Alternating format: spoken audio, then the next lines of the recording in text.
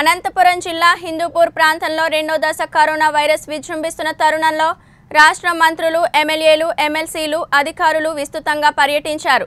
ముందుగా హిందూపూర్ రూరల్ తూముకుంట పారిశ్రామిక వాడలో ఉన్న రెండు ఆక్సిజన్ ప్లాంట్లను పరిశీలించారు. ఆక్సిజన్ ఎంత ఉత్పత్తి అవుతుంది? హిందూపురం ప్రాంతానికి ఎంత అవసరం? అన్న విషయాలపై ప్లాంట్ మేనేజ్మెంట్తో చర్చించారు. అవసరమైన మేరకు ఆక్సిజన్ సిలిండర్ సరఫరా చేయాలని యాజమాన్యానికి సూచించారు. అనంతరం హిందూపురం కోవిడ్ ఆసుపత్రిలో చికిత్స పొందుతున్న బాధితులను క్షేమ సమాచారం అడిగి తెలుసుకున్నారు. వైద్య సేవలు ఏ విధంగా ఉన్నాయి? కనీస సౌకర్యాలు భోజన వసతి ఏ విధంగా ఉన్నాయని ఆరోగ్య వైద్య సిబ్బందితో జిల్లా కలెక్టర్ మంత్రి అడిగి తెలుసుకున్నారు. సిబ్బంది కొరత వల్ల కోవిడ్ టెస్టులు వైద్య సేవలు కాస్త ఆలస్యం అవుతుందని వైద్యాధికారులు పేర్కొన్నారు. వెంటనే వైద్య సిబ్బందిని నియమిస్తామని బాధితులకు మెరుగైన చికిత్స అందించాలని కలెక్టర్ మంత్రి సూచించారు. అనంతరం స్థానిక వివిధ శాఖల అధికారులతో మున్సిపల్ కార్యాలయంలో సమీక్షా సమావేశం ఏర్పాటు చేసి కోవిడ్పై తీసుకోవాల్సిన జాగ్రత్తలపై పలు విషయాలను సూచించారు. మొదటి దశ కన్నా రెండో దశ కరోనా వైరస్ చాలా తీవ్రంగా ఉందని వ్యాధి త్వరగా రావడంతో పాటు లక్షణాలు కూడా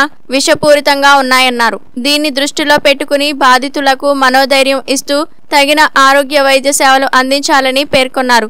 వైద్య సిబ్బంది ఆక్సిజన్ కొరత కనీస సదుపాయాలు ఏమి కావాలని అడిగి తెలుసుకున్నారు.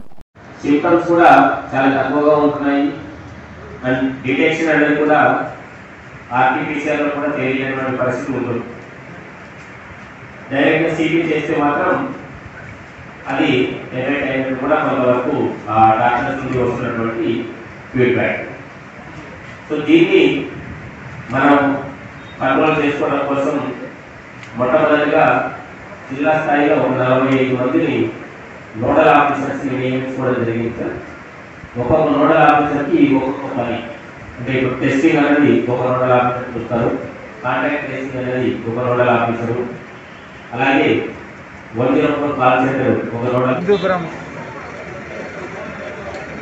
మున్సిపల్ కార్యాలయంలో గౌరవ జిల్లా కలెక్టర్ గారు అలాగే గౌరవనీయులు ఎమ్మెల్సీ గారు అయినటువంటి మహమ్మద్ ఇక్బాల్ గారు గౌరవ పార్లమెంట్ సభ్యులు గోరంట్ల మాధవ్ గారు అలాగే గౌరవ సబ్ కలెక్టర్ గారు అయినటువంటి విశాంతి మేడం గారు.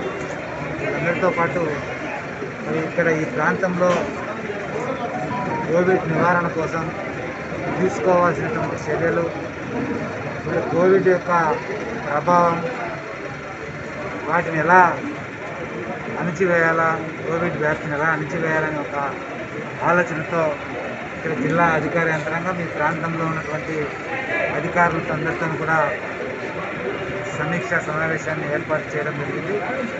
నుంచి కూడా జిల్లా యంత్రాంగం మొత్తం పూర్తి స్థాయిలో జిల్లా కలెక్టర్ గారు అలాగే ఎస్పీ గారి సారథ్యంలో మరి స్థానికంగా ఉన్నటువంటి ప్రజాప్రతినిధులందరి సహాయ సహకారాలతో మరి జగనన్న గారు ఇస్తున్నటువంటి ఆదేశాలు సూచనలు ఏవైతే ఉన్నాయో వాటన్నిటినీ పాటిస్తూ మన జిల్లాలో అనంతరం జిల్లాలో మరి కోవిడ్ వ్యాప్తిని పూర్తిగా తగ్గించిన విషయాన్ని కూడా ఈ సందర్భంగా గుర్తు చేసుకోవాలి.